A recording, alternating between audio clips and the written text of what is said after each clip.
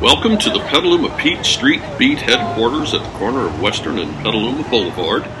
where, for 15 years now, that rascal Petaluma Pete has been doing his level best to pay back this town while helping to support the Petaluma People Services Center, who are doing their level best to support those Petaluma citizens who need a helping hand.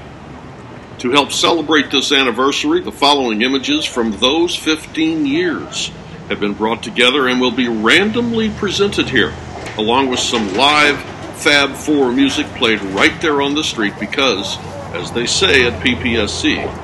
it is all about community.